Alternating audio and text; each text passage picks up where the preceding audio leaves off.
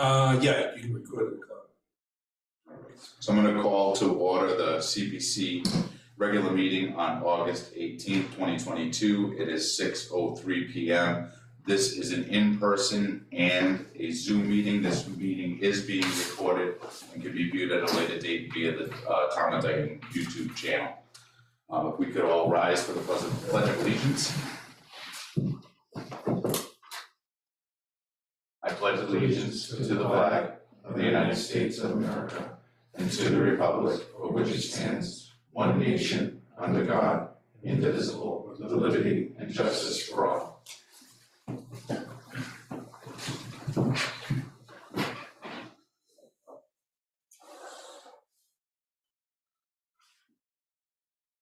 Dave, can You you, wanna get rid of that? Yeah. well, th- yeah, get rid of that and I, um, can you start, um, the video Yes, I can.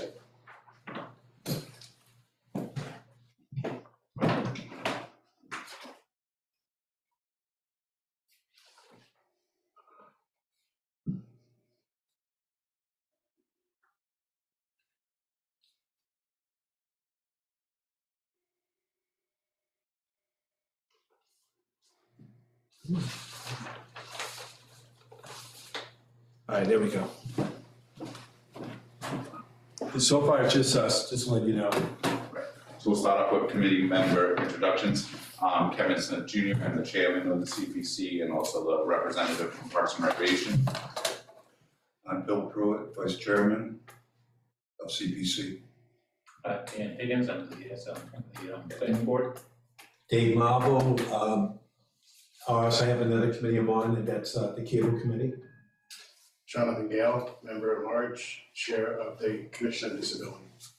Jim Digits, Conservation.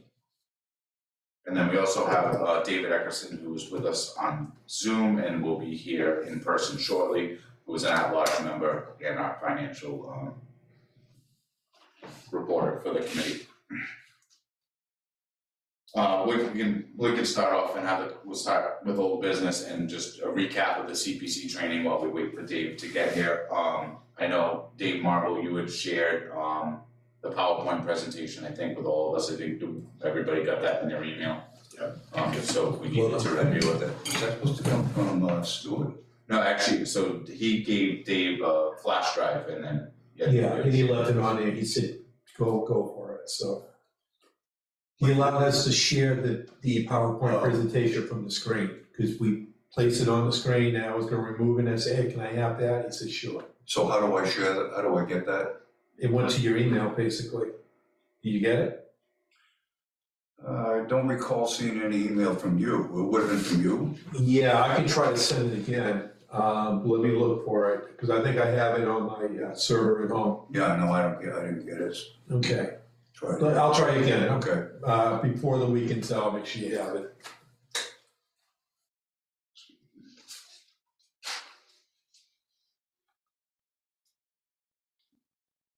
I'm forward to you right now, it's right here.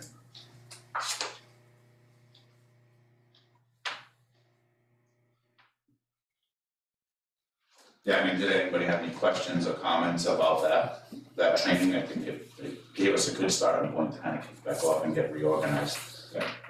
And then it it answered several questions that at least I wasn't clear about, things that we can do, things we can't do, the limitations that we had or thought we had or don't have. And I know I'm being vague, but what I mean is it, it clarified a lot in terms of what, what we can do going forward and what, how we can allocate or the types of things we can allocate. And I think for me, that's really what was more important to understand what we can and how we can. So I got a lot out of it.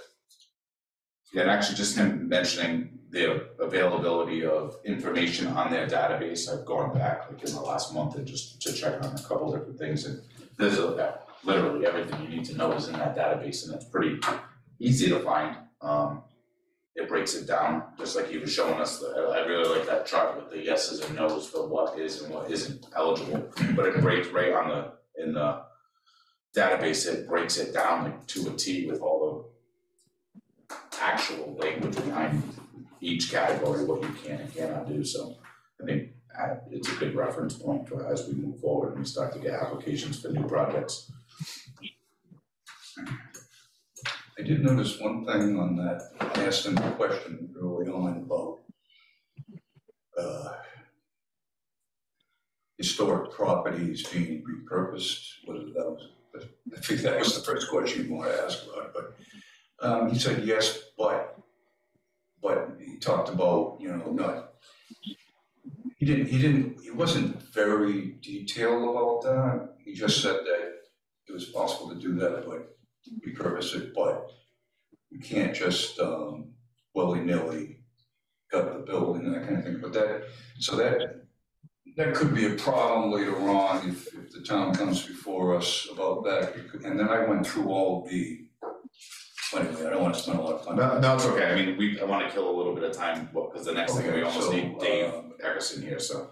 I went and looked at all the documents that Dighton has about CPC, including the the warrant article that created it and so forth. Yes, And um and and then there's some supplemental stuff also on the Dighton website, you know.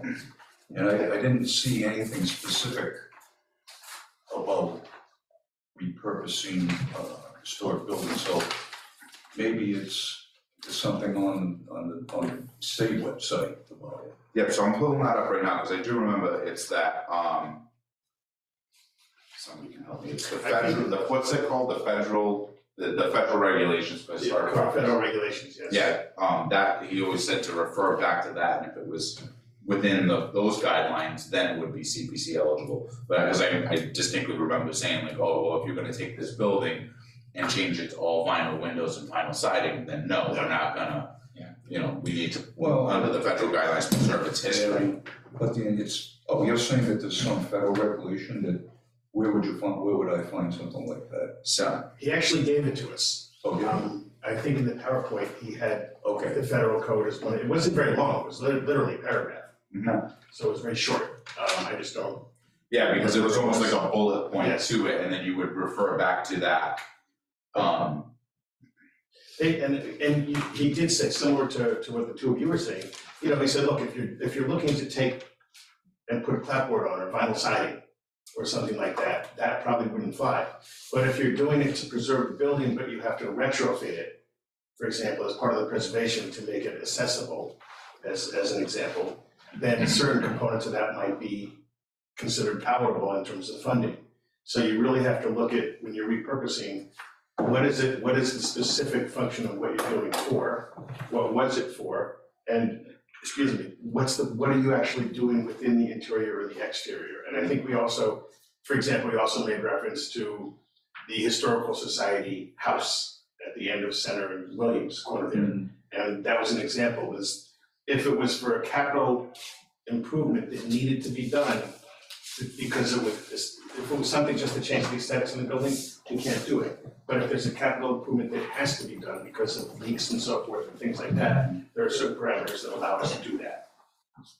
okay, but but just based on his uh quick answer to my question, um all all all we know is that you can't gut the building, but but there there are other possibilities as Yes. well, so. Yeah, So this is actually a good piece right here, and this is right under that historical projects tab, is they give you this whole flow chart of, um, what you can and cannot do, so it kind of gives you us the yeses and nos of, for historic projects. And actually, it does this for every category, which is nice.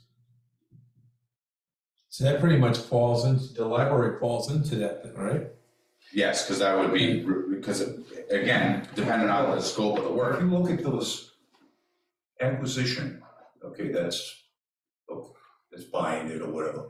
Preservation, rehabilitation, I looked it up, to see what the distinction is.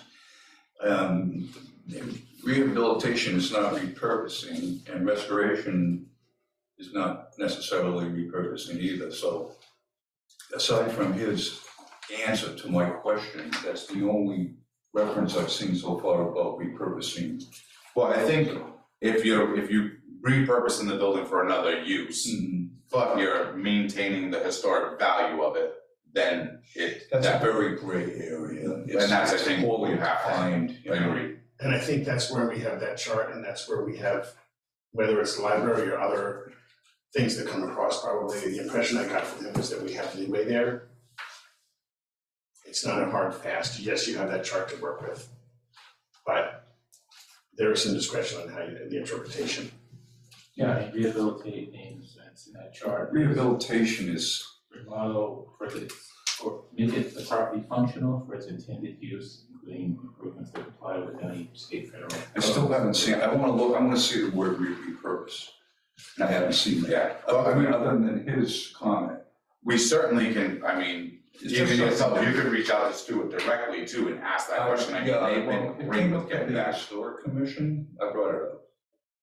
And, uh, Ken, well, Selectman Ken was on, he's, he's a, uh, he's not a voting member. Liaison, Right, so anyway, I just happened to mention him, to him, that business of what Stuart had said about no gutting the building. Mhm. And, um, and, and then I mentioned to him that if we, couldn't resist it, if, if we were to vote against a project that someone had submitted, then he'd have to find someplace else for his money to get his money. He didn't like that too much, I have a feeling. right, well, I mean, we all, we need to adhere to the guidelines that are presented to us, and it doesn't matter what the project is. And I think the library is a prime example of one that we're really gonna have to dig in and make sure we cross our Ts and dot our Is, because Yeah, I think your idea about, I, I could email Stuart, because I get email from him, so. Um, and maybe ask him if there are any projects that he's aware of similar to what, you know, repurposing. Mhm. Because I just wanna, I'd like to get a better feel for that, but, but anyway, that, that's kind of far off, so. Um, I just wanna, to anyone, if anyone's watching on Zoom, that Dave Eckerson is not with us in person. Hi, Dave. Hi. Um, we're just, uh, on the old business, just talking about the CPC training. sure. I didn't know if you had anything to Yeah. add to, to that before we move on. Yeah, I was able to catch most of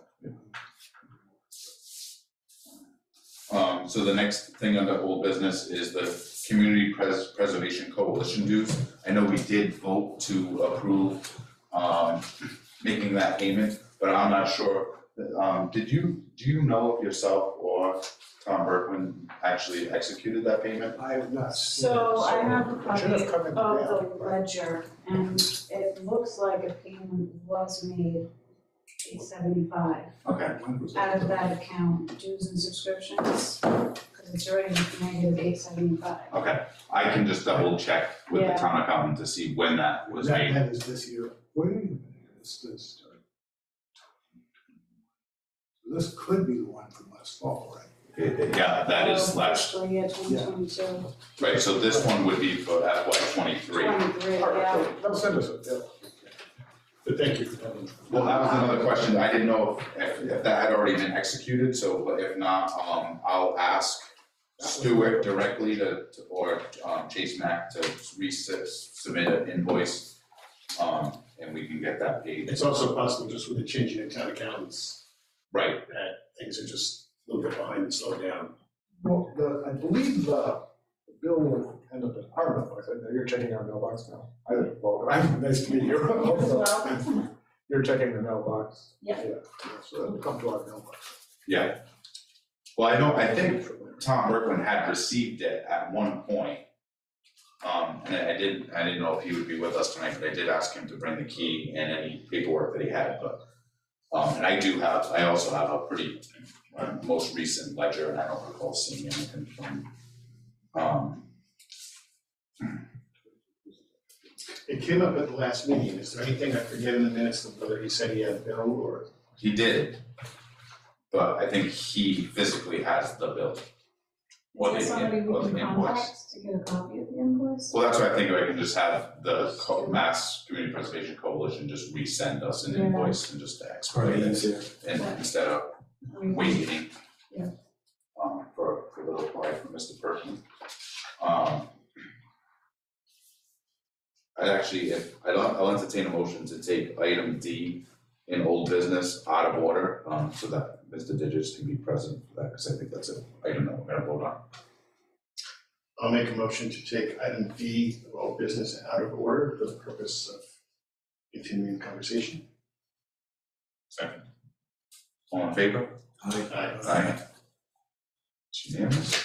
Alright, so uh we have review, discuss and act technology for the CPC clerk, uh Dave Marvel to present options. Yeah, so what I did was basically, I started off roughly with around five hundred dollars or so, and then I went to uh, Leanne, and I said, you know, she said she has a person, she deals with, they get the equipment through town hall. So I didn't get a chance to get to a printer today, because I had to run some errands, and she gave me this quote last minute, so I'm looking right now for a Dell Latitude thirty, thirty-five twenty, uh, eight gigs, i5, 15.6 screen. Uh, It's got Windows ten, you can move it up to Windows eleven. The price right now is uh, eight hundred and thirty-three dollars and ninety-nine cents. Now, that's with two hundred and fifty-six gigs, I wonder if we should try to get you more. Or you, or that's plenty, what do you think? Uh, depending on how many files you need me to transfer over to. With this committee, you're probably gonna need, A lot. But do we have the ability to have any cloud storage? that you gotta take up with them, because I had that conversation with the clerk about putting that stuff on cloud. and I never really got a good answer. You could always get a. A flash separate drive. Where I can put things on Yeah, as well. that might make more sense, that way And then the uh, Microsoft license, along with that, um, basically that's done through, through the cloud, but they don't wanna do it, so they're gonna give you a, a twenty nineteen license. They want like seventy dollars for it. Then going on with the printer, they say no to the printer, they, s- they say since you're here most of the time, you can bring your stick in and just print off what you need. So I'm not sure if you're okay with that. I I think that makes the most sense too, because then we're not worried about making sure you have reams of paper and bringing it Yeah. home The only, and the everything only else. thing I would, I would go back to is the twenty nineteen license for seventy dollars, is it a two or three year license, cause it might be expiring this year. I think it's gonna expire, but they don't want us we're going through the cloud just yet for the subscription. They're trying to avoid it until it comes. That's the answer I got from them. So are they thinking that once we turn over to the new website, that we're gonna jump onto a new cloud subscription? I mean, I can check, but they really, they, they really say they're trying to wait till the last minute to do that. They've been giving out like just the, everybody's just been purchasing the license. No one's really on Office three sixty-five. Have you seen anybody? I have not. What was the, um, what was the total again for the computer itself? The computer itself, and uh, I can, I'll give this to you later. I'm sorry I didn't have time. It's eight thirty-three ninety-nine. Okay, And that's a Dell Latitude thirty-five twenty. It's an i5, it's got eight gigs, which is not too bad, because we're just doing, uh, Word. Fifteen point six screen. Um, I just got this like probably at four o'clock when I was driving. Windows ten on it for now, and then we can move it up to Windows eleven if we need to. Did, did you notice if it had a webcam? Uh, I think it does, but I'll double check that. Okay. As far as the cloud, um, you know, Microsoft has a cloud component, um, which is Teams. Um, you know, there's Dropbox, there's others too. So that one way or another, I think all of us who wanna be able to see what's there or just have historical documents and things like that would be able to have a shared file. Which for me is the easiest thing in the end, personally, especially if there's things that are going in there that I have to listen to. There's So- a drive like for the sewer department, so there must be a drive where we could all be you know, invited to that. well, I know like sort of COD, Jonathan and I use Dropbox. Yeah. Uh, I think as long as it's secure, I, I, I'm always hesitant to, for anything to put a- any financial documents on there, but I think for sharing minutes, agendas and, and even applications. Applications. Well, I think It would be Office fine. three sixty-five gives you uh, a terabyte Yes, it space. does, into the cloud, Yeah, which is good. because I have that for my own, my own office. Well, like I said, when I talked to, uh, uh, Mr. Pacheco on it, he just wouldn't say what we can do, so he's gonna look into it. I could be wrong in the way I'm saying it, but it's like, we didn't have a cloud option or a server option back then. Well, if we needed to in the very short term, until there's a resolution separately, um, if you don't already use Dropbox, for example, I can just create a folder and call it, you know, CPC, share it with you, and then give you, or you and Kevin rights to share it with everybody else. Mhm. And it's that simple. You got plenty of space? Oh, yeah, I have, yeah, because I have a business account. I know I'm going off, how much you pay a month for that? I pay an annual fee of about hundred and ten dollars. Oh, that's not bad. Dropbox is actually relatively. How much space you get? Um, fifty, I don't know, but it's like so many terabytes, Wow, not bad. That's, that's, I think that's the right route to go. so, and I've got, a- I've only used about eleven percent of it, so I think I've got a huge amount to go, and half of what I have is gonna disappear when I clean it up anyway, Right. So. And the other thing, the only reason I'm going with them because I found a laptop for five hundred and thirty dollars and I try to get them, like the head of Dell who's got our account to take this, I said, oh no, you have to go with a commercial laptop. So she took that and she said, this is what you really need. Do you know if they offer any warranty at all, or extended service plan? This- One year on this, um, one year on this particular laptop. I actually pulled it up here, so, we- and it does have, um, yeah. I, I bet it's gonna yeah, work. camera, microphone. Yeah. I think it's pretty standard now. And it might even have different things built in, it might even have a Dropbox built into it, And it was 16 16 gig? no, eight. Eight K. gig, okay. How much is the sixteen? Uh, I replied back to her, I want to fifty for sixteen gigs and go up to five hundred. Cause I thought two hundred fifty gigabytes is not enough. I mean, it's adequate, but I wanted to have a buffer, have more. Yeah. So I mean, it's showing here, and then this is, this is just Dell's website, but it's showing seven eighty-nine for an eight gig. And then that's, but I don't choose all the other options, then it jumps up to eight thirty-nine for sixteen gig, so you got like a fifty dollar difference. Which is well worth it. I, I, I- I just don't like, we're gonna use an external drive anyway in Dropbox, I don't know if it, if it matters. Alright, so we can keep it the way it is. Yeah, I would just keep it the way it Do is. you, um, you want me to go with that basically? Well, let's, uh, um, I'll entertain a motion. Someone wants to, Is that, I just wanna ask first, before we, is this, I'm assuming this is compatible with most any printer, one way or another? Yes. Well, don't forget, she's gonna be taking, uh, her stuff on a, uh, on a thumb drive, taking it to the printer anyhow.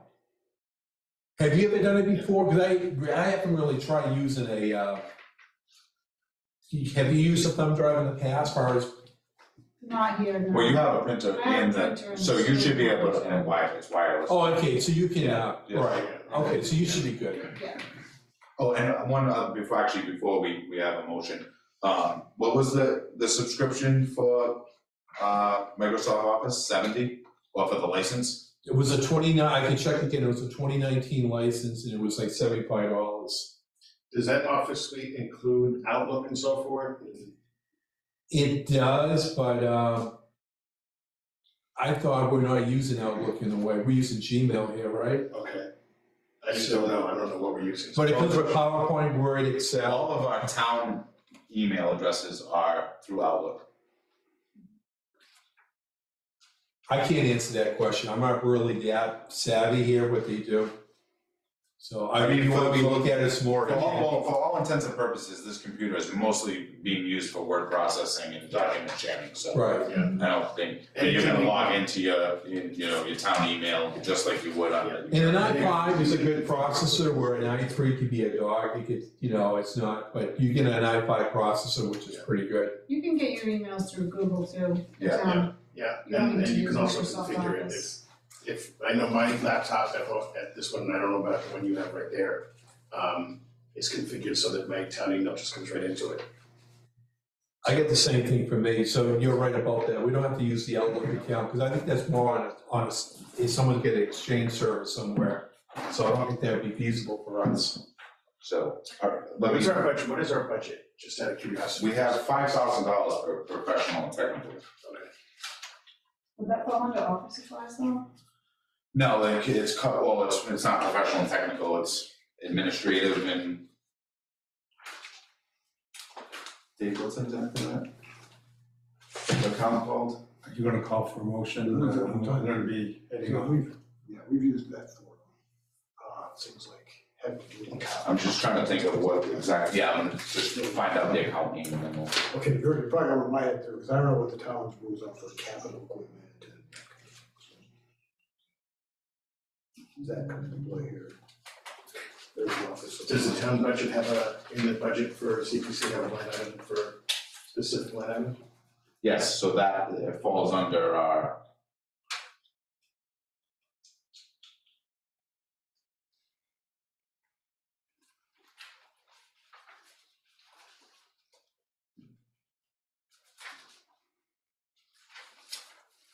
Well, as, as, um, Kevin said, there's professional technical. Administrative expenses is what it's, is, And that's the five thousand.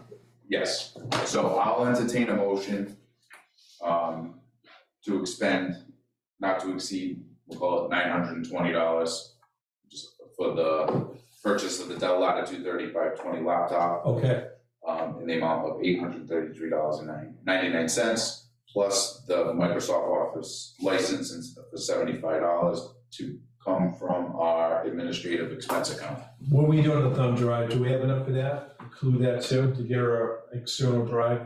Uh, again, I think we'll have to look into it and, Okay. I mean. she Oh, can unless we operate try it. something else, Yeah. right? You do Dropbox or something, okay. Correct.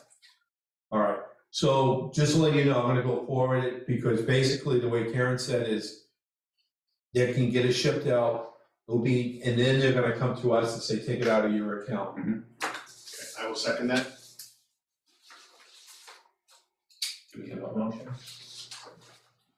Oh, you second it, so Yes, I, there- yes, there was, yes, do you want to repeat the motion or? No, I thought he was asking for a motion, did you make? it? Oh, Well, I entertain, okay, so Alright, moved. Okay, all right, we're good. Never mind. Uh, all in favor? I, Aye. Thank you, Mr. Digit. I'll see you next door, I'll be over there to run your meeting later on. Have a good night. Take care. Bye-bye. Alright, so we'll jump back, um, to item C, which is financial report. I think we all, Dave has, you have an updated ledger, right? Elizabeth gave us another, Well, we do have a, well, it seems like it ran, it was the whole fiscal year. yeah, okay, the updated ledger is not very uh, helpful. Public report, so what we're gonna do now is, uh, wait, now what's the status of the town accountant position? It is, the person has been hired and they will be incoming to and s- starting soon, I talked to Administrator Mullen and they are moving towards getting that person in place. So, um, you know, and the, and the assistant is still with us? Yes, so, um, Lisa, the, the assistant is staying with us, so for now, I think for any, you know, old business, as far as accounting goes, um, she's gonna be our go-to for answers, because she probably is gonna know where to find things a little bit better than, uh, Right, yeah, so anyway, so to update her, so Tom and I did go in there, but I'm not sure if we discussed this on the, uh, the previous meeting, but Tom and I did go in and meet with Janelle before she left. And, um, she, you know, acknowledged the, uh, the report we have been getting is a little lacking because the, um, previous year's warrant articles kind of disappear as you, um, as the years progress. Mhm. So these, um, what we wanna do is work with the new incoming accountant to generate a new report that, you know, gives us a little more visibility into what was, uh, uh, the, uh, what they call the encumbrances. Mhm. It's, you know, set aside for warrant articles from previous years. so So what, we don't lose track of. What makes that really tricky too, and I know this from experience with like a couple Parks and Recs items, is so, you know, when a warrant article is written, like say for instance, with the, with the North Lake Playground, it's to be expended by the Parks and Rec Commission. So that automatically gets pulled from our ledger and goes into a special article, and then the CPC doesn't really necessarily see it again, it's Oh, it's gone gone, from the account, and then Parks and Rec handles paying those bills. But I know there's certain ones, like from sitting in on, on previous meetings when the historic commission did the markers, that bill was given to the CPC to be paid, so those, that's where we need to go back and decipher what's still in our ledger and what we're responsible for paying, and then what has been written as a warrant article to be expended by a different.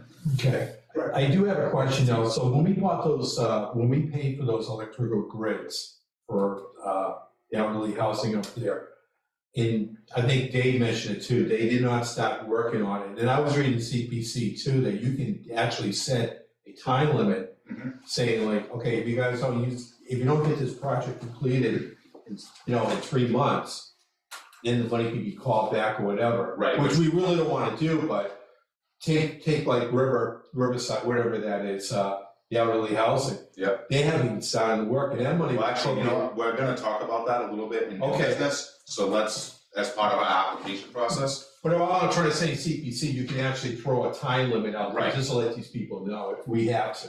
Yeah, so we actually, we probably need to go back to FY twenty and look at, cause I think that was when that, that was done, was twenty nineteen, I know there was the North Dighton ball field lighting and fencing, which we're just using now. But that was one that we won't see in our ledger because it's being expended by us.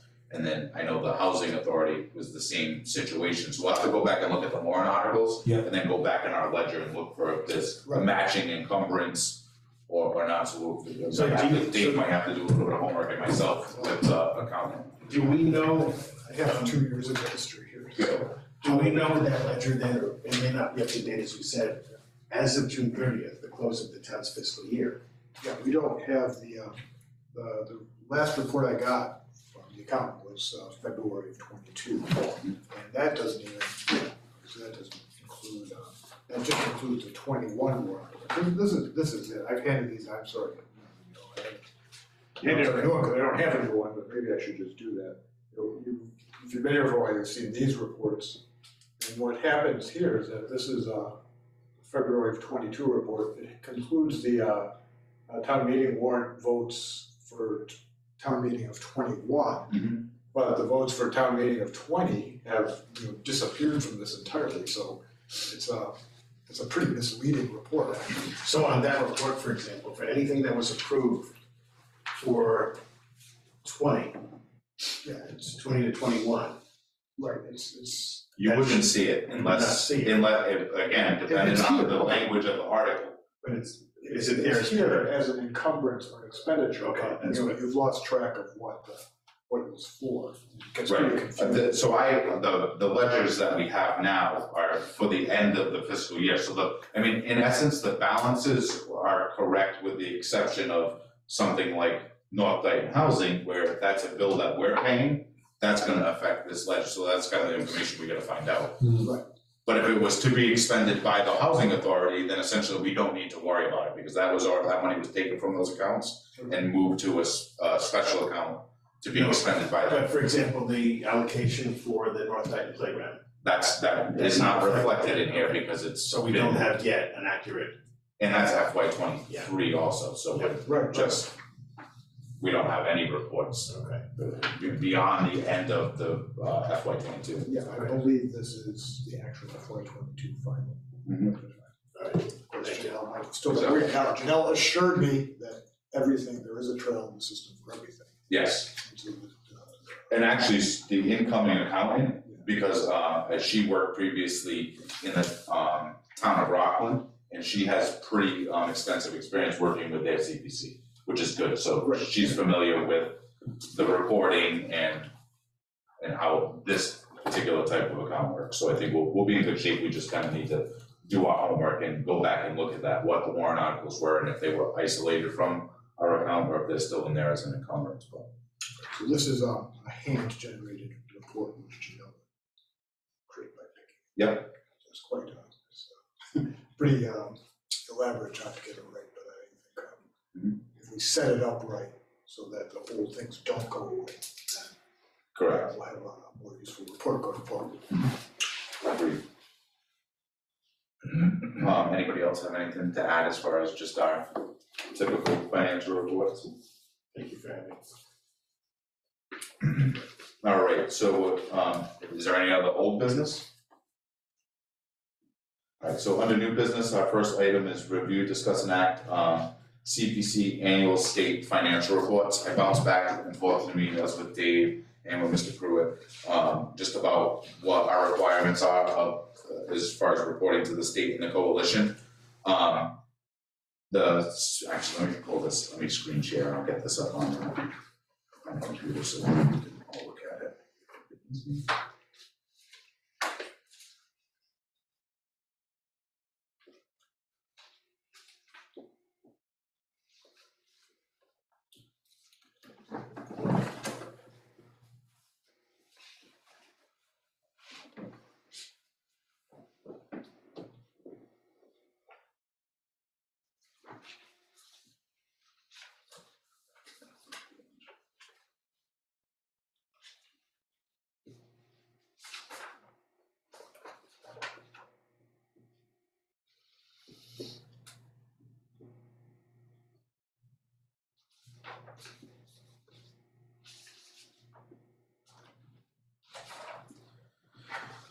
So the first form, which is called the CP one form, um.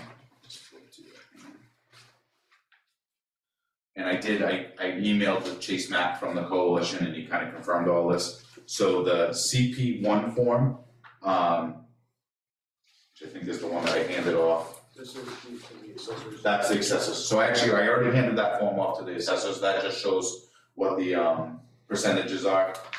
The tax percentage that goes into our CPC funds. So that is the, um, Board of Assessors will fill that out, return it back to us, and then we'll submit that to the state. There's not much, um, there's nothing for us to do on that one. I'm not, I'm not even sure we are responsible for that. We're not, it's, I think, Yeah, I don't think we have to vote on it. no, no. I think we'll, we'll take it back and just, and we'll submit them all together. Um, and then the CP two form, which is the accounting for, form, which is the responsibility of the town accountant. Um, to fill, we'll probably have to work with the new town accountant to help kind of fill in some of that information. Right, and again, you know, it's the same, um, same information that falls out of that, uh, standard report, so. It's the balances of the individual funds and, uh, any approach, any you know, changes that were made at town meeting. Yeah. That is not due to October thirty first, so. Yeah, yeah, so the CP one is September fifteenth, um, CP two is October thirty-first. And then the one that is our responsibility, which is the CP three, which just shows any allocations that we made for the prior fiscal year. I did go back and look at the annual town meeting warrant from last year. And I think the only project that was approved under that fiscal year was a twenty-five thousand dollar project for historical, and it was part of I think it was the beginning of the historical markers project, so we, we, we have until, um, September fifteenth, that gets reported online. Um, I got new login information from the state, so we can access that database online and do that report. Um, So obviously, we're talking about these going forward, but are there any of these that are in arrears that were failed to be done in previous years that we need to catch up on? I don't believe so, because like in, in talking, um, in emailing with, with Chase Mack, he, he didn't make any indication that we were behind or we, we would do any old paperwork. Um, so again, I think there's only, we'll go back and we'll, again, just confirm with the town accountant, and we'll see that when we're looking at encumbrances or warrant articles that have been moved out, but I believe there's only that one project to, um, to put on there, and then we'll zero out the other two categories, cause it's just, it was open space, historic, and what was the third one, Dave? Community housing, Th- this one, I believe, is only applies to uh, acreage and units of community housing. so it doesn't anymore. This is a GIS.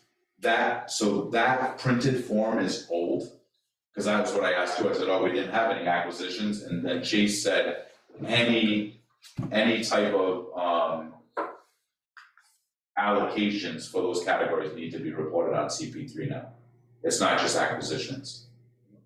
So that, that did change, and now it's online reporting, because I did print that form originally, and, um, and it has changed some, so it's all allocations, not just acquisitions.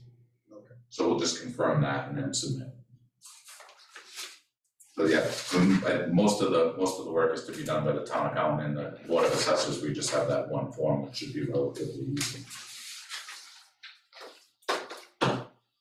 Um, next order of business review, discuss and act CPC application process. Excuse me. That was the A four. That also falls, that falls under the same, that goes hand in hand with the CP two that goes with the town. So, uh, could I ask a question? Yes. Yes, so anyone who's been here for a few years, Dave, um, is Bill, do you remember ever voting on these reports before, or reviewing these reports in the meeting? 'Cause No. I've been here three years.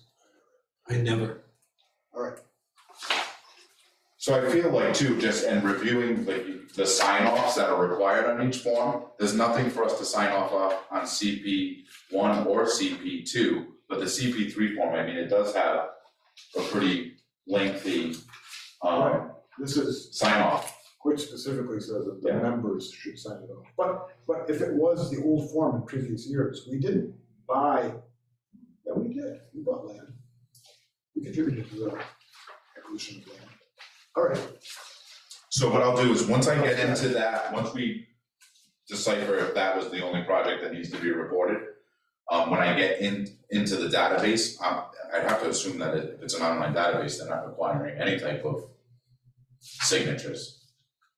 I mean, I think we'd certainly report it at our next meeting, that this was, that it was submitted under this, but, Unless you have to- I- I can unless you also- have to upload something, right, that never fact. that's also a question. So that we much can ask. easier doing this electronically too now, which is, But I can ask that question of Chase, I haven't gone back into the database since they gave me the new login credentials, but we can ask that question prior to this, that, that's due on the fifteenth, but we can figure that out if, if we need to do anything as, as the entire committee before that gets submitted.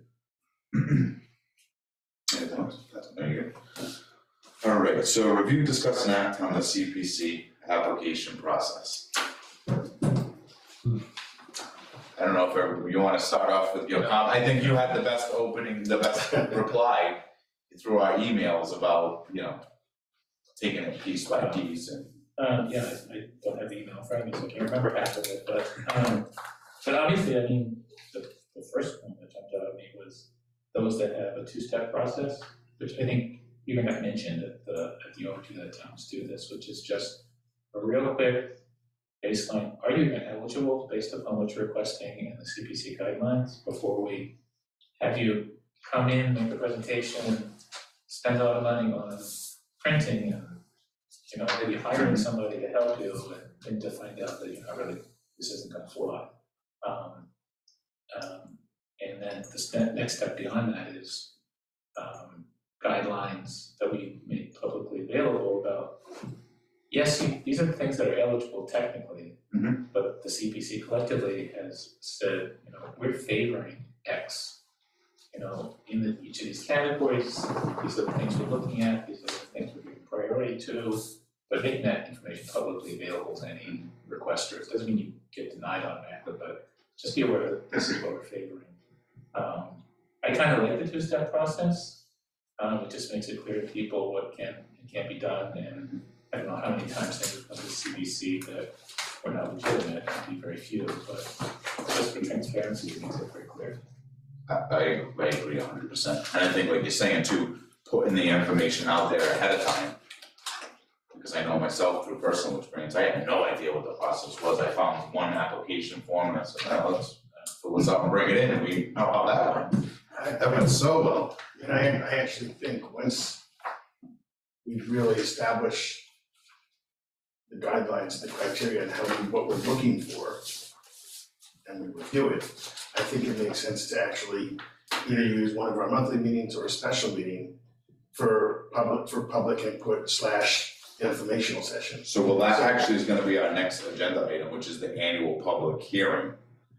Which is exactly that. Which goes hand in hand with this. Cor- Yeah, I mean, we can almost, because I don't, we can almost have that, this as a two-part discussion, because I think it does tie in hand in hand. Is because the whole purpose of that, that annual public hearing is that all the representatives of each co- other, you know, outside committee, planning, housing, historical parks, and, and, and uh, conservation is, at that annual meeting, that's when we're supposed to say that, like, Parks has this in the pipeline, Historic has this in the pipeline. So we're forecasting, you know, those projects, and then it gives us a better idea of, you know, something that comes out of the blue, whether or not we can fund it. I think what we have to be careful of though, with the, the annual meeting is one thing, but I think if, if the, there, it may be a separate meeting in terms of, you know, discussing, going, reviewing the application process, public meeting to review the application process, the procedures, the expectation. And, you know, what are the deadlines for submission of A, B, and C? Unless we're gonna have all the deadline for our entire application be the same have this to us, then we're gonna review it, then there's gonna be a two-week review process. I think that has to be laid out to some extent, and what I'm getting at is, for the purposes of transparency, I think we don't wanna be able to have a meeting and say, well, this one, unless it's something that's already allocated from prior year, or from a bond or something that affects our funding that year, what's available. I don't think we wanna necessarily automatically say X, Y, and Z is allocated already, because I can, I can hear people saying, wait a minute. You said this is a meeting to find out what's blah, blah, blah, and now you're telling us this is already allocated. So I think unless it's pre-allocated from prior year for a purpose, and it's purposed already, we need to be extra careful in that. I'm not following you hundred percent. So we, we, we allocate a set percentage for each category every year. Right, I, no, I realize that. And then we have a designated fund. But like, I, I think, are you trying to, so I think that's what we're trying to outlay is what the application process is gonna be and what we're gonna ask of individuals applying. That's what I'm saying. But like, you're not gonna, you're not gonna give them an any of that information outside of just our normal meetings where we have financial reports. No, no, but I You think, know. but I do think that we should have a public meeting where the application process, deadlines and procedures are laid out for any interested committees, or organizations related to anything that we can potentially support or fund are gonna come and get the presentation at the same Well, time. I think that's, that is again, a purpose of the annual public hearing is to let our committees that are, have seats at, Yeah. within this commission, but also, yes, invite the public and present the new, you know, what's gonna be a new application process. I process. think we're kind of saying the same thing. Yeah, I think, it was- yeah, I'm trying, well, that's what I'm trying to reiterate it in my own head, so. No, it's okay. Um, Mr. Chairman, so, uh, is everyone aware, we do have a written document specifying the application process? Yes. We have, so I think, you know, we ought to also plan at some point to review this, update it, get it posted on our uh, Space in Town website. Well, I think that's where we're at right now is, is how to clean this up, because we, we have, so in, in our existing process, you have the application for eligibility. So you brought that, again, I'll just keep using the park as an example, because it's the only one I have, is I brought my application to el- for eligibility, and it was like, yes, it was, um, it was eligible, and then you had your application for funding, there was no, but there was no application for funding, it was like a, a made-up document. So it's, There's no, Right, there's no formal document, so that's, that, I guess that's where it becomes confusing on. why is it confusing? Because, well, so say not, oh, being a part of this committee and you're presenting a project, and you say, say, okay, it's eligible, we're gonna take it under review, and then you say, okay, now it's time for the application for funding, and I, and I say, all right, where do I fill out the application? Yes, there's no But there reference is, to that. yeah, there is no actual application It's, for it's funding. more like the details of, Right, now you've, you've given a tentative green flag and then Do we uh, know anything about the fourteen copies? So that, I asked, I asked Stuart that, Oh, you did, okay. So that is, is entirely dictated, that there's no guidelines from the state that says what our application process needs to look like. They don't dictate that at all. They're pretty, they're only telling us what projects are, are or are not eligible for whatever reason. Our application process is decided of, uh, by our committee. By the committee So itself. we can decide that we want it to be digital, we can decide that we want it to be paper copies. You know, that's something, again, part of this whole To conversation. clean it up too. How do we want this app, what do we want this application process to look like? I know, I think it's always good to have a hard paper copy to back up, you know, that information. But I, like, me personally, I don't see any reason why we can't distribute an application digitally and all be able to look at it instead of all of us have, like, so the requirement was forty-eight hours before the meeting. Every member of the committee had to have a paper copy of that application. Unless someone doesn't have digital capabilities. Right. When that's Well, what the we other- get that hard copy, like you said, just. The other side of this is that with the new town's website, that will be live in, in September, as of now, September seventeen, our application, like anything else for the town, can be on the website. Mhm. And anyone will be able to go to the website, not only read the parameters of it, but fill it out online, including attachments. And then once they hit submit, it would go to whomever. whether it's Directly to- The chairperson or to the clerk, It'd be whoever's awesome. designated, and that'll be automatic. So, you know, Mr. Chairman, what I would suggest, and I'm proposing, um, I know you had sent out, and obviously I can't see and don't have it in front of me, but you had sent out a couple of different application processes that you thought looked really good. Yeah, so I actually have one up on the TV right now to. Well, timing is everything, isn't it? Yeah, so like the town of Lexington, like they have, it's a whole table of contents where they, they have an overview, they outline the, this, uh, coalitions, definitions, and eligible projects for community housing, historic, open space, and recreation. Um, and then they have appendixes, which I'll kind of get through we'll go down to the appendixes to kind of look at that.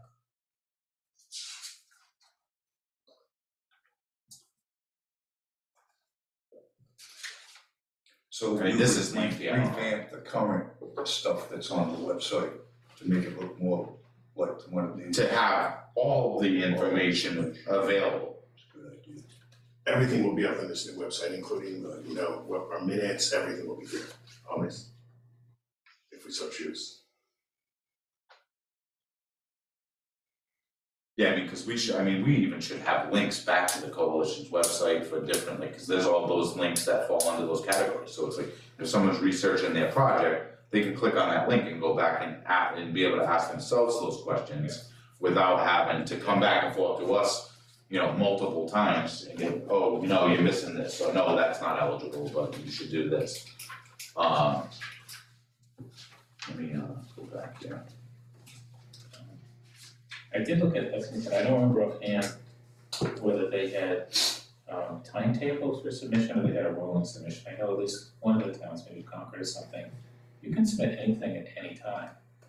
Being fully aware that if you submit it late, it's not gonna be a this year town meeting probably, Right, but that doesn't prohibit you from making a submission. It's not like we're gonna say, come back in six months, I don't even wanna see it. right, So, I mean, I'm kind of in favor of the latter, which is, you wanna submit something, submit something. You may have submitted it late, and you're probably not gonna get a good chance of anything happening for a year and a half, but right. we're not gonna say, I don't even wanna talk to you for six months. I agree hundred and ten percent, it's like, yeah, they need to understand you're at the mercy of annual town meeting.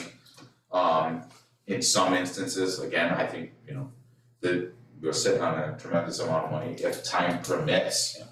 And it's something that could be done at a special town meeting if it warrants it based on the project.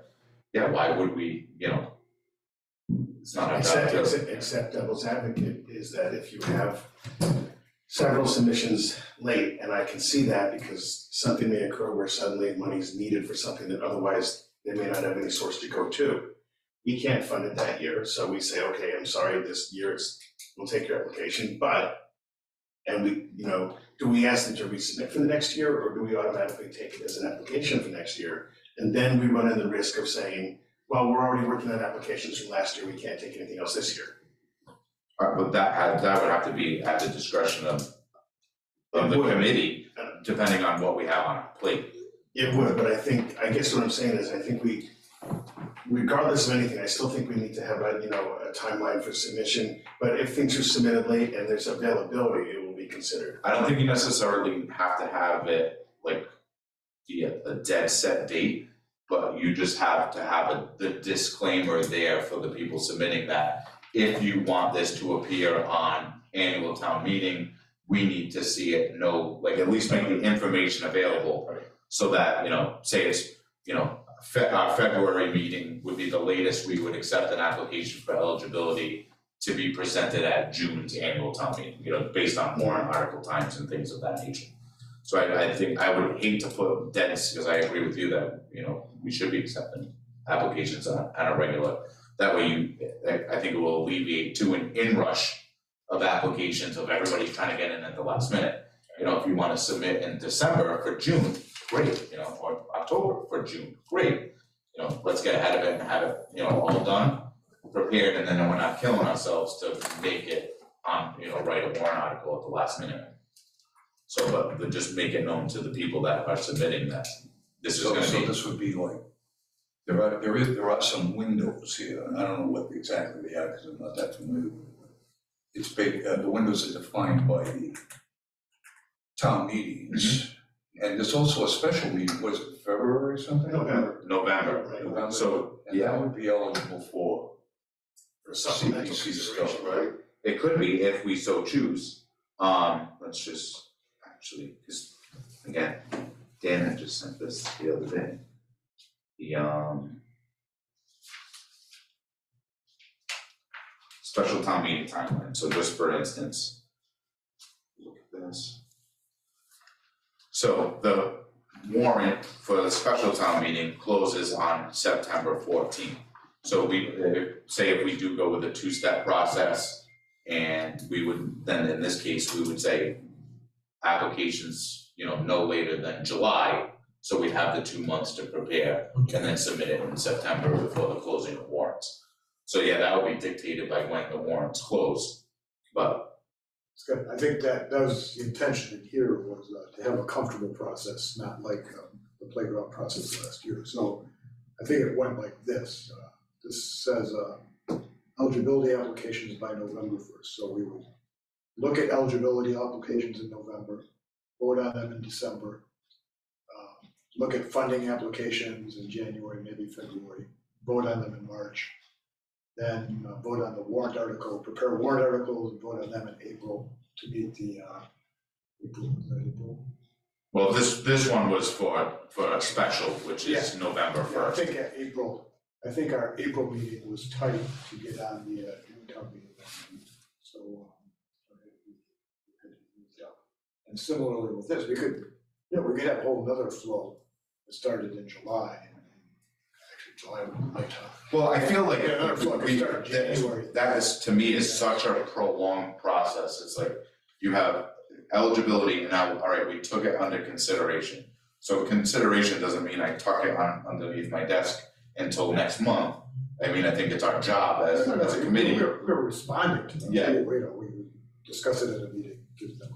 Well, that's what I mean, look, but to wait, but I think in the time that a month has passed where you've taken it under consideration.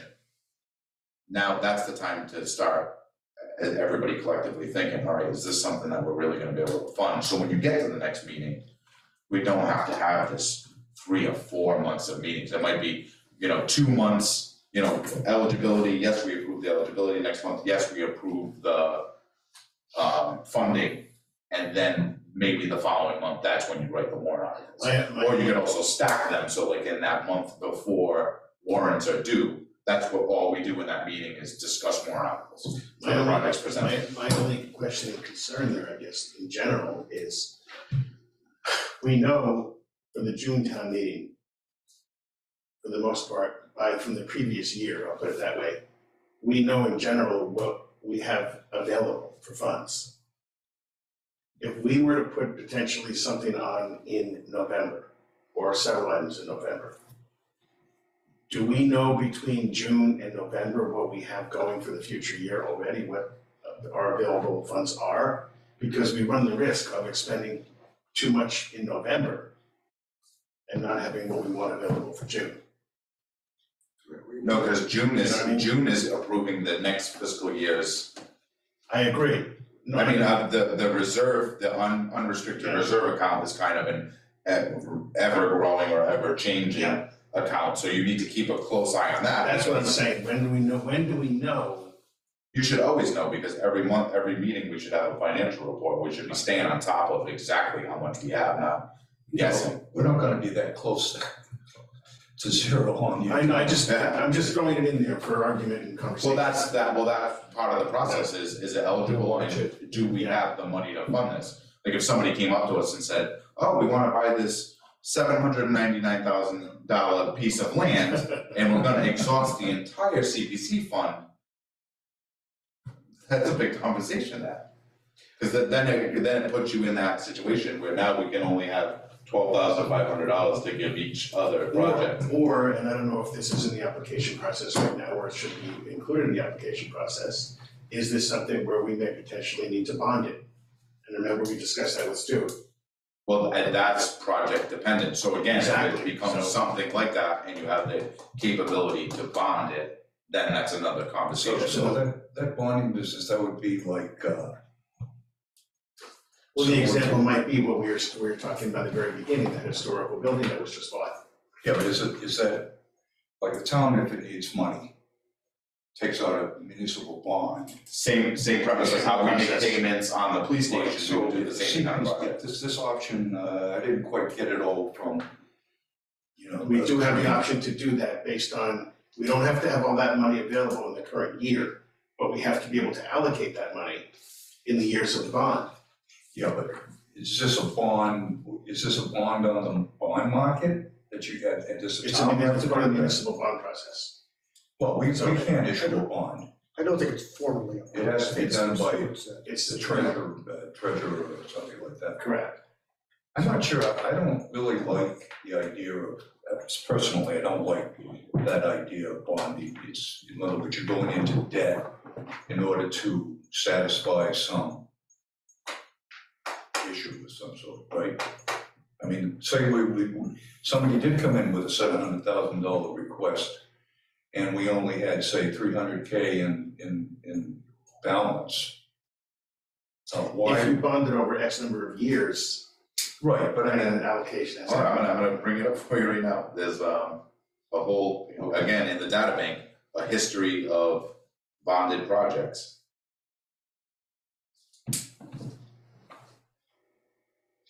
Maybe we'd have to be paying payments.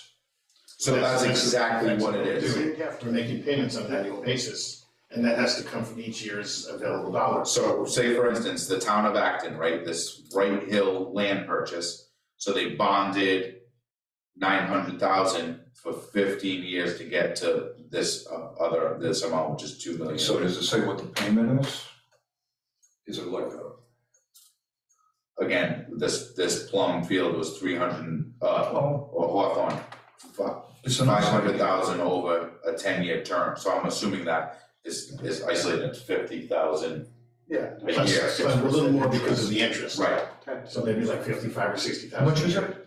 so that was, they, it was a five hundred thousand dollar bond, Right. spread over ten years. Which, So instead of exhausting your entire account, you do no, I know, but what, so ten goes into, that's, that's fifty thousand, uh, Well, that, that would be fifty thousand a year for ten years, but you have some interest on it. Mhm. So it may be at fifty-seven or sixty per year to right. get to the final figure, whatever it is. So I think this is, Anyway, that comes out of the CPC. Yes, Yes. We would have to vote on that every time there was a payment due. No, you would budget Nah. based on your one, your one vote for ten years. So that every year, that money, think of it as being put, set aside, it's put on the, on the, on the small butter plate. So, so would that be a direction to the town accountant to do that? Who would be sending the money to Wall Street? That's the question, you know what I'm saying? Well, the allocation of our funds, however we annually allocate our funds to. What would be our participation in this process? it would be, it would just strictly be a warrant article that we, so say, well, we'll use like, say Sweet Snow was available, and we wanted to buy Sweet Snow, and they wanted a million dollars for it, but we didn't wanna cough up a million dollars, so we did, you know, we made the bond for X amount of dollars for so many years, so we would write that warrant article and then allocate that percentage of, you know, or that, you know, however many split of the payments, but it still have to go through a town meeting, so in Yeah, in essence, we could say yes to it and it could still get done. But it only goes to town meeting one time, it doesn't go every year. Correct, it's only that one time the bond is good. Yeah, that's fine, but, but I'm trying to get at the mechanism of payment. Just like you get, uh, the mortgage payment for your house. Again, it's gonna be expended by who?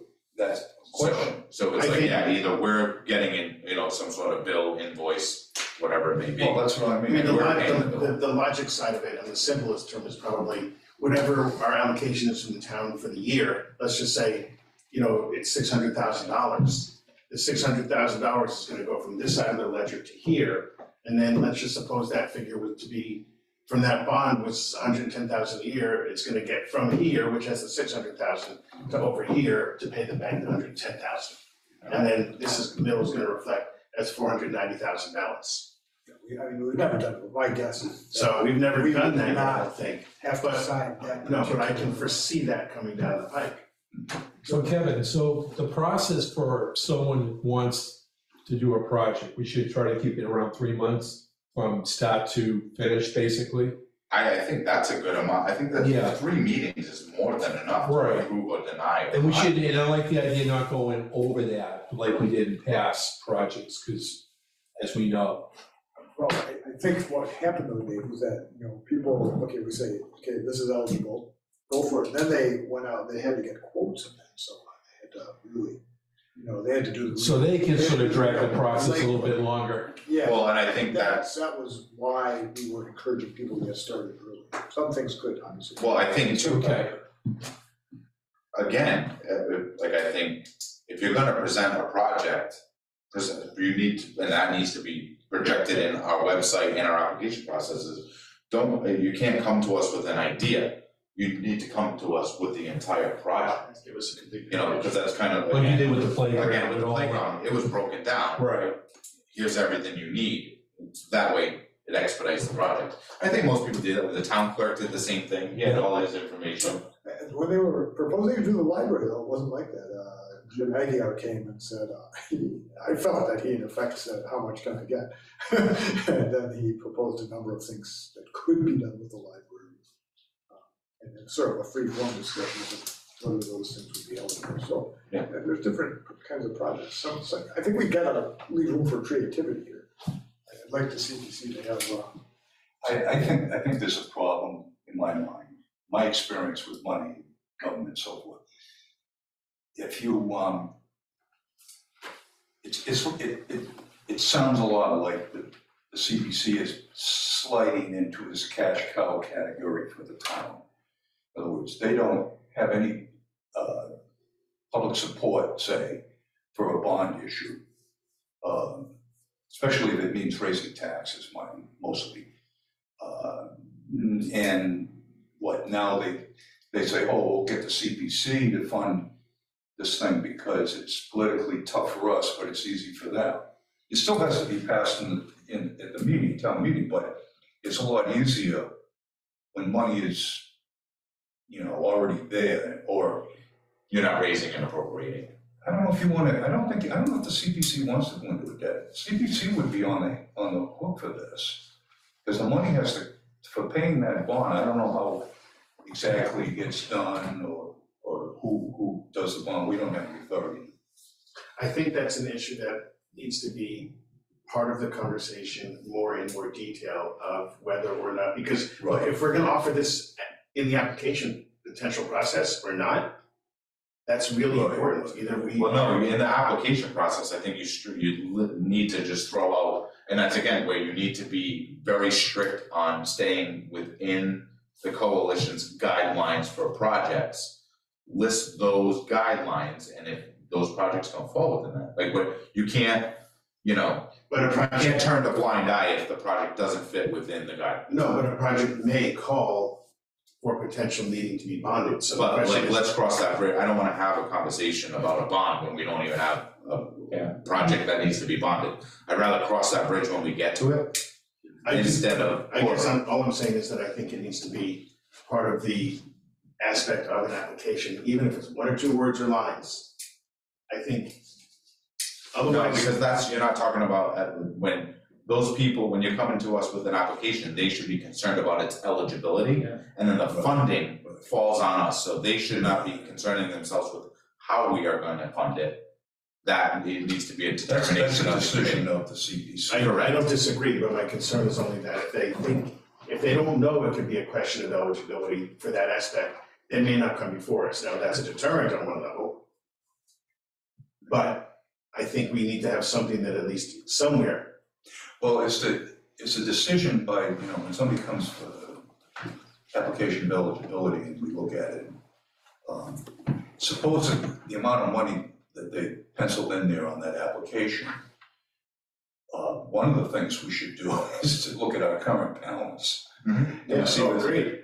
If this isn't a doable thing, then, then the decision could come to, you know, a bond issue maybe, but, right? Like, yeah, I think that's a good, that's a great point, that if it's a project that we all think is worthwhile, but it's, you know, not financially feasible in one fiscal year, then we can, yes, certainly have that conversation.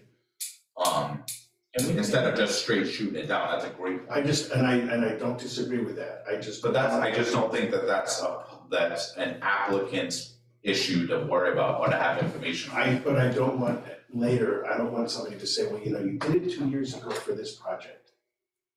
And what about us? Well, That's why I just think, I think for transparency, it's at least important to have something out there. Even if it says, you know, is, you're, this, that, that is not a consideration for your project.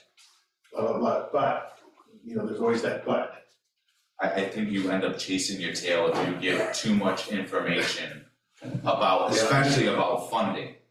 Although, I mean, each one of these, Lexington included, does say, we give, above and beyond being eligible, we give preference to these things. And we may say, we give preference to things that can be funded in one fiscal year, because we don't really, Yeah. we don't, bonding's an Yeah. extreme case that we can do, but our preference is to do things, and we can just stay up front and say, you know, our, these are the things we give preference to, and one of them could be, we agree, to say things that can be funded in one fiscal year.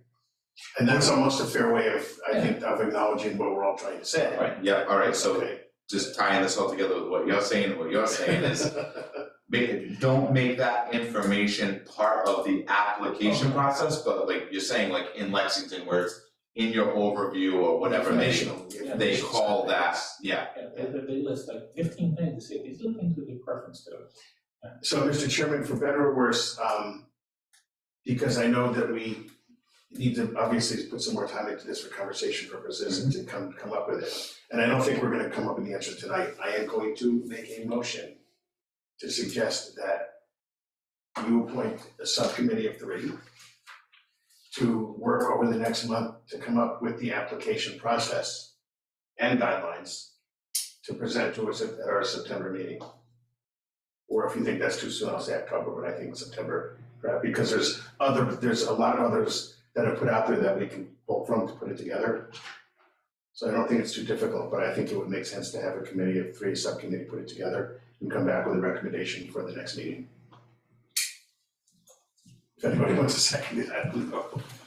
I'm just putting it out there so it's not only one person. Chance of someone here we said, so. No, I mean, I- I'll, I mean, if somebody wants to second, we can second it and then have discussion. Okay, I'll second it for the purpose of us. Okay, I have a motion and a second. What was, I'm sorry, I missed the whole. So Jonathan made a motion to appoint a subcommittee of three, That the chair appoint a subcommittee of three. that I appointed a subcommittee of three to work on a new application. Okay, sounds good. I hate subcommittees, hate it. I hate pinning that job on like three specific You people. could appoint if you didn't go out here. This is true, yeah, that would work out so well for us. I, I would rather, I, I, I would rather s- really see like a collaborative effort of everybody, we're a committee of, no, I think it's nine. Yep. Ish, some, something like that. Like, I'm perfectly okay, obviously, we're not gonna have any decision making done through email threads or anything like that. But I think it's perfectly okay to, you know, say, hey, I really like this from like, and then we kind of had this conversation. So collaborate with the. Just collaborate and have everybody say, you know, I think this is a good piece. You know, and we might be able to assemble collectively, like, let's say, three drafts. And you know, the irony, I have to stop you there because I don't disagree in the sense that the irony is if we had something like the Dropbox, that's exactly what we would be doing. Yes, so It would be a that that working is, draft. That is a good point, yeah, we could have a, you know, set up. Can we get the draft Dropbox done early? Yeah, I mean, that's I can set that up right away. pretty Okay. easily. Yeah, and if Jonathan sends it to me, I can just grant the access to Yeah. everybody. And then, yeah, it is, it's just kind of, it's a lot like Google Docs where it's a live document, so you can Right. go in, edit, or write, or even put a side note. And, you know, say, ah, you know what, I I don't think that piece fits, let's use this Yeah. piece. And you can have as many folders and files as you want in that Dropbox. So we can have that, we can have our budget, we can have other items, we can have minutes, you can put as much as you want in that one folder. My, my attitude towards the whole, the application or the plans specifically is there's, there's a reason why the coalition has specific towns listed on their website, it's because those applications work well for them. Um, I don't think they'd highlight something that, you know, wasn't efficient. So I think even that, a lot of them, when you click on them, they come up as a Word doc, so it's like, even if we pick our favorites and throw them in the Dropbox, and it's a live Word doc, we can edit it and change the language as we see fit. And then by, you know, this, our September meeting, be ready to, you know, look at three draft applications. Um, and do, I think it's, it's just easier to do it that way, instead of pinning it on three people. So do we take Like- somebody else's uh, eligibility application and we just tweak it to our own, right? I mean, that's what you do with everything. Theoretically, you could put any, all these eligibility applications into that Dropbox folder as examples. Right, And then And if you somebody create wants to there. cut and paste it. Right, and then just pull out certain pieces. I like that, Jonathan. Yeah, Okay. and I can actually, I very easily could do with everybody, um, with Kevin on his laptop next time, we could do whoever needs it, literally fifteen to twenty minutes of how to use Dropbox. Mhm. And it's That'd be a good idea. it's that simple, so that everyone's on the same page. If I, as a person who can't see can use it, anybody can use it. And I really, I don't mean that sarcastically, but it really is friendly to You use. need for a vote for a vote? Or, well, yeah, so just on, can I, can, I'm gonna clarify Okay, so I'm gonna, with- before you that, I'm going to withdraw the motion. All right, easy- that makes it easy. Yeah, okay, good, Good. all right, thank you. Oh, when's the next meeting, third Thursday? Third, yeah, we'll keep it the third Thursday. All right, sorry, guys, I gotta go over there and, uh, help her out. What's the meeting over there? Uh, Concom, and, uh, they go pretty long over there, probably to ten o'clock tonight, so give her a break. What, paid Dropbox? I'm sorry, Is it paid Dropbox? it's a paid Dropbox, but I already do it anyway. I wonder if they do it for our expense here, right? If we have our own Dropbox, do we pay for it? Or, Um, theoretically, you could, but this one's already paid for, it does, I mean, the equivalent dollars is only a few months, so I'm not worried about it. okay, if you're good with it. then it's fine. Ultimately, and ultimately, if I'm no longer on here or something, then I will just hand it off to whoever, I'm not. Okay, Right, we could always, yeah, try, transfer those files and, and create an account. okay. Yeah. No, sounds There's so much, that you get X amount of free storage, I'm sure we would, we would eat it up. Um, but there is X. I gotta look at it different cable too, because we looked at Dropbox one time, but we thought it was too expensive, so we dropped it. Yeah, I was it's- thinking of like, No, and as I said, I have a business version, so I have plenty of room on it, so. okay, sounds good. I might be asking you a couple questions about it, okay, but. Okay. All right, everyone, take care, thank you. No worries. And I'll submit that laptop, and great weekends out. Very good, thank you, David. Take care. Yeah, so I'm- I'm almost thinking too, if we can almost do the same thing with the annual public hearing, like, uh, again, on the, on the coalition's website, it does give some examples of like how they reach out to the newspaper, do that publication.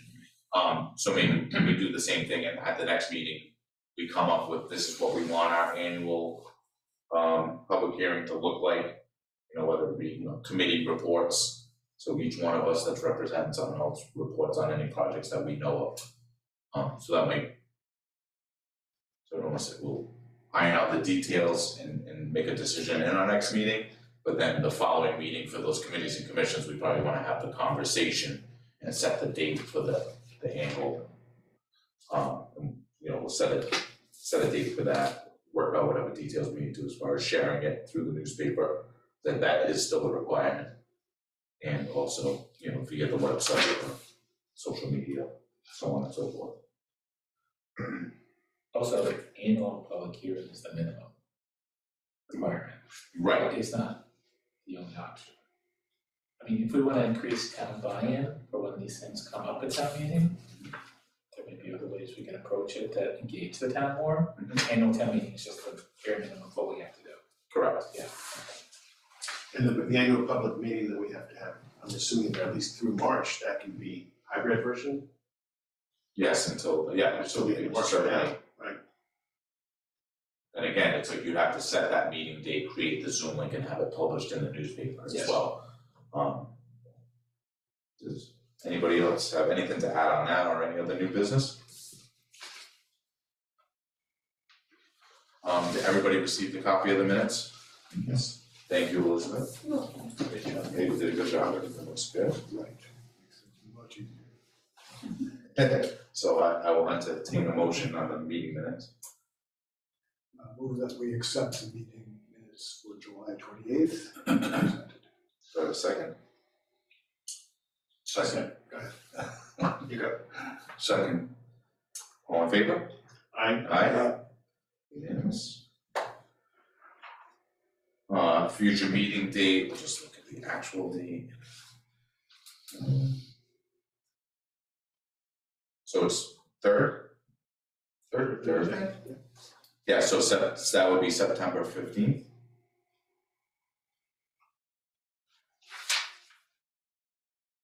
six P M, Yeah, I think six P M seemed to work well for everybody. I I I guess the only other thing to consider, and I don't know if there's any other interference with other um committees, meeting times, you look at it, but do we, uh, should we consider moving it to like five thirty so that like Mr. Digits can stay So is his uh, conservation also every third Thursday? at seven, yeah, and he seems to need to get over there early to get his stuff put together.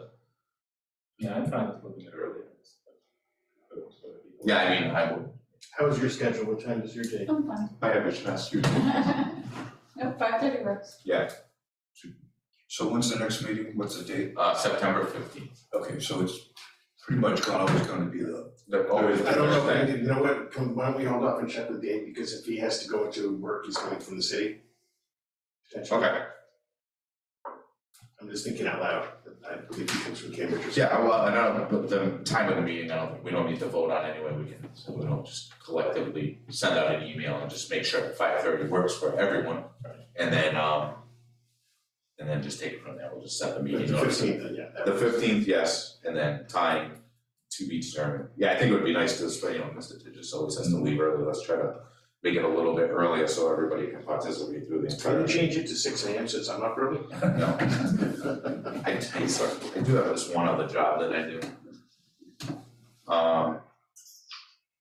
Public input, let me just check uh, Zoom and make sure nobody's not there.